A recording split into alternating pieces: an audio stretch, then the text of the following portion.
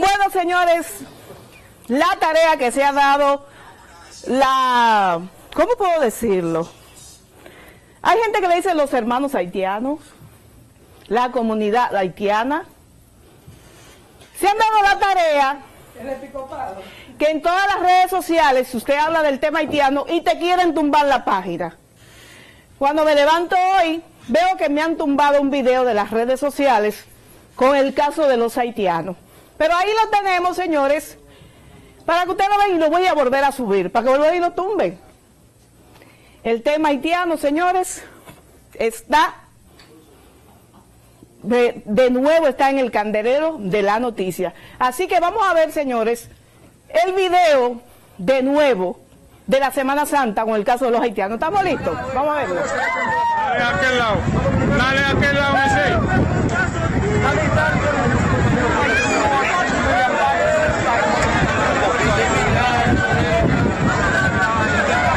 haitianos que se resisten.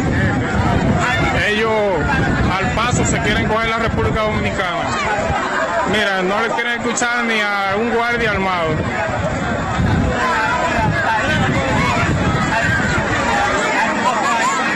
Guardia, mantente activo y a distancia. Oíste.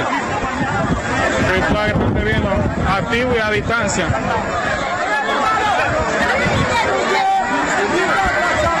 Esto es casi imposible. Es un caso casi imposible. Por falta de nuestras autoridades que han dejado que estos problemas cojan cuerpo en la frontera. Los haitianos no le escuchan a nadie. Guardia, activo.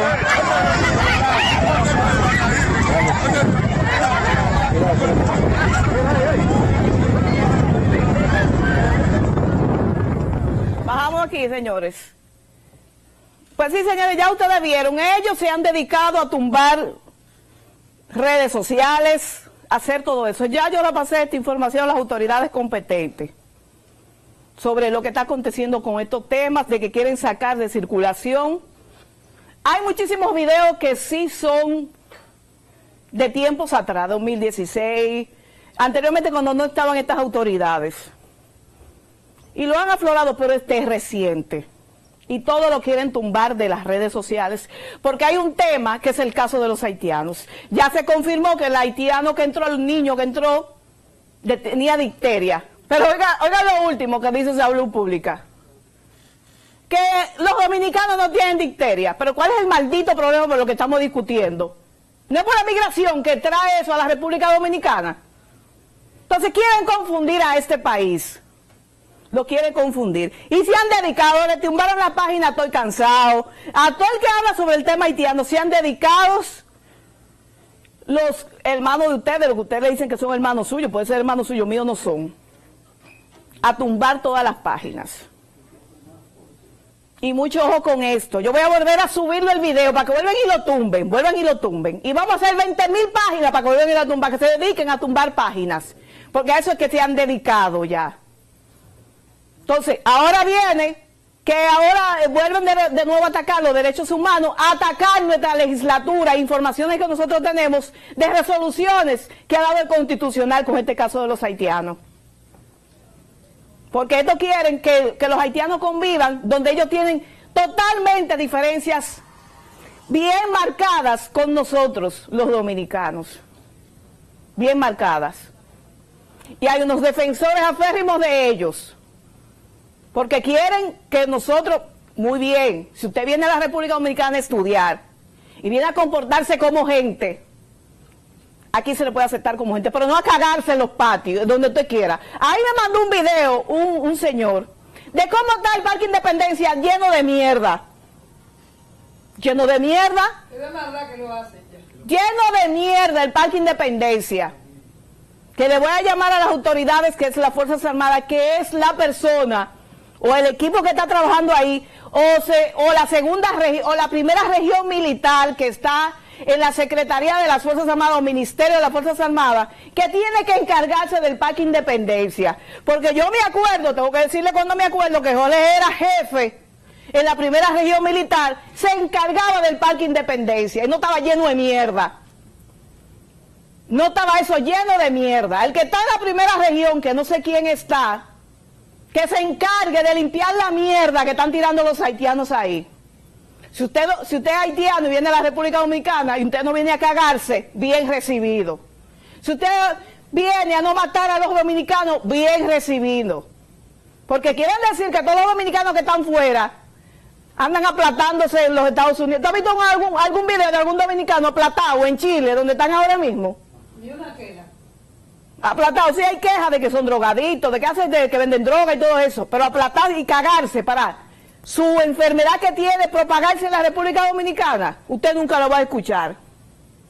Entonces, si usted viene a eso, a vivir como la gente y a no cagarnos el país, son bien recibidos, claro, según las leyes de migración, pero parece que hay que acordar la musiquita del director de migración que no lo siento. ¿Tú lo sientes? Usted tiene mucho que no lo ven. Pero esto es una vaina como de maldad, eh, que, que Danilo pone todo eso maldito.